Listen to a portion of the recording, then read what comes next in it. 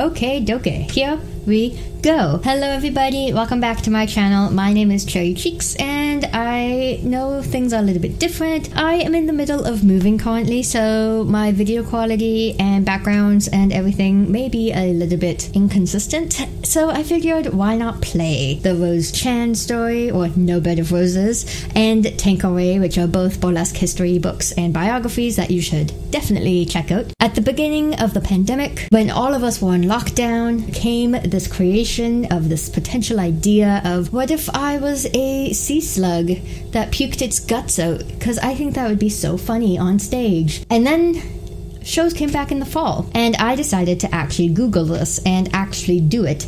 And turns out it's sea cucumbers. So I just debuted recently a sea cucumber act, my brand new act that I have been working on throughout the pandemic. Once I had my idea of I wanted to be a sea cucumber, it was about finding the music. Once I found my music, it became about the construction of the act and the costume itself. So that's what today is. We are experimenting. I am going to show you some of that process of how I created my sea cucumber act. I got my nice ocean behind me. So let's go, shall we?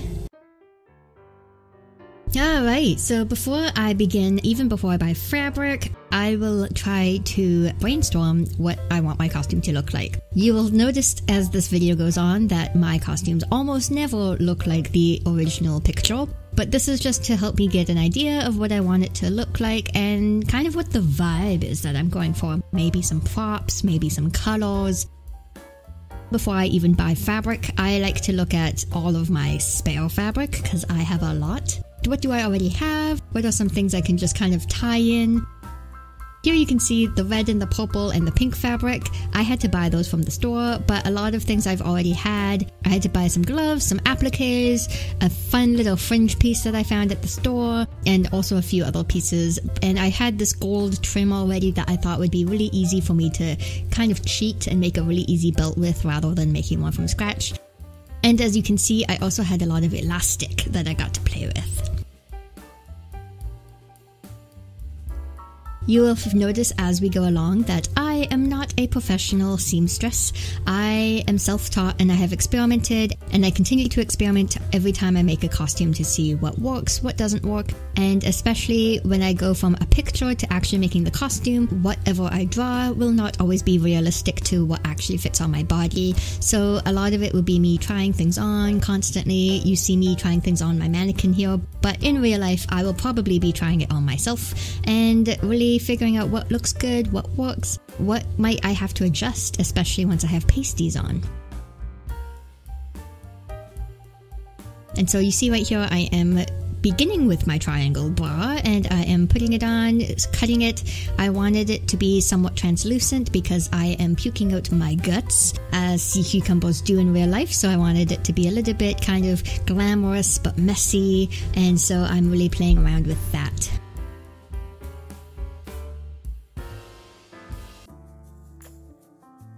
And you can see me again, like experimenting with what looks good. Maybe it looks good if I have it more bunched up. Maybe it looks better if I had like beading in different areas. So this is really me experimenting to see how I want everything to fit together.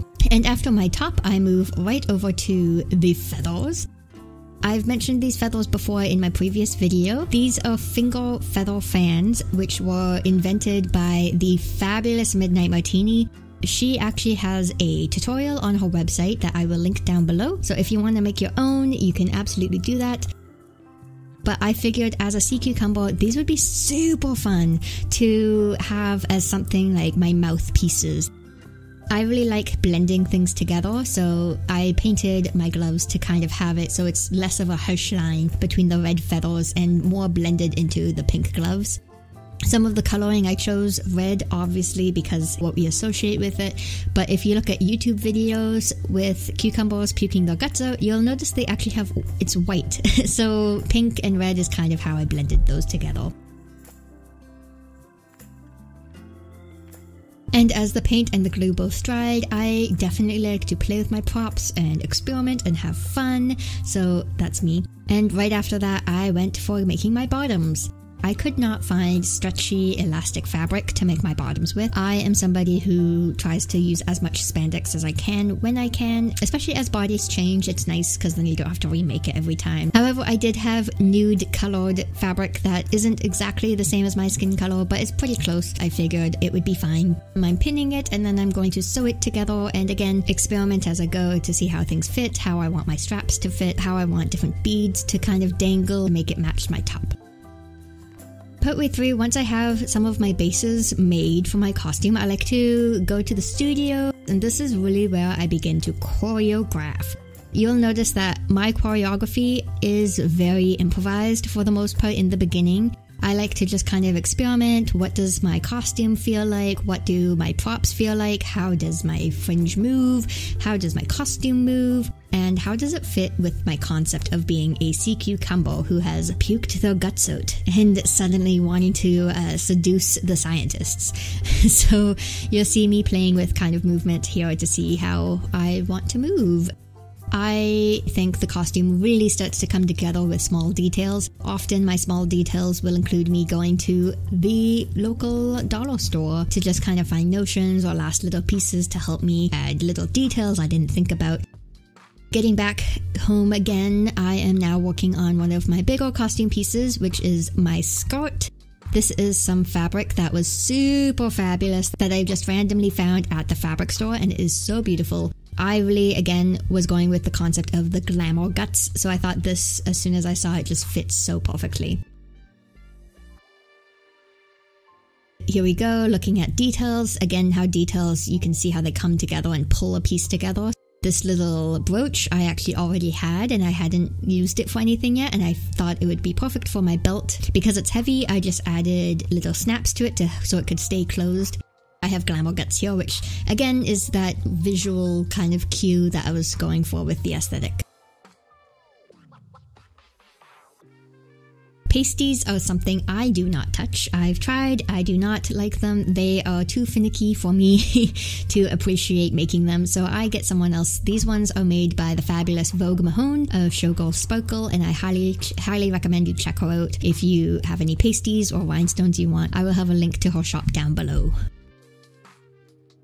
A lot of my costuming as I go along is really experimenting and testing things out, seeing what works, seeing what doesn't work.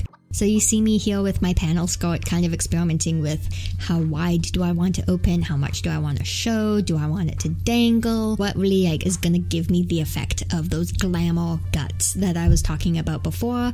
And you can see me also kind of swishing it and playing with it to make sure it actually works properly. What do I like? What do I not like? And then once I find something that works for me for length and amount of bundling and swish, then I can really sew it together.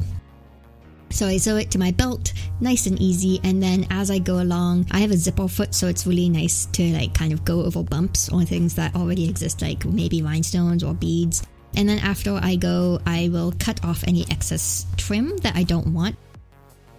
And you can see right here, that's exactly what it looks like one of my cheats. So, this was when I was beginning to get very tired. I did not want to do things the right way. So, my little cheat is if you have clear nail polish, you can paint over top of your little fringe bits. This is very much the do it yourself piece. Again, me trying it on once I have it all sewn together and finished and experimenting and how does the sculpt move? What are some restrictions I might have with it? How does it look? And really getting to play with my costume to make sure it's gonna look good. You may have noticed in my drawing in the beginning that I have this little tube that makes me actually look like a sea cucumber. I intentionally left this for last because this is going to be the piece that goes over my entire costume. I had to make sure it would actually fit over my entire costume. So once I made my base, I went ahead and made my tube. And fun fact, I debuted this act while I was headlining my first gig at the Saskatoon International Burlesque Festival. As things go, when you're debuting an act, quite often you are working right up until the day of the show, and even after your debut, you're going to be updating it with more rhinestones, maybe fixing costume pieces or reveals that didn't work. So here you can see me beating and playing and finishing off some of those last minute touches to get it show ready. So that's kind of a little bit of how I made my Sea Cucumber act. I'm really, really happy with it. I think this was the best debut I've had in a long time of any acts, and I am so in love with my costume and the choreography and the music. I'm just super, super happy with how it turned out, and I cannot wait to bring it to more stages. And if you have a process that you like to follow when you create costumes, I would love to see you comment down below. Is it your music you find first? Do you get inspired by a concept?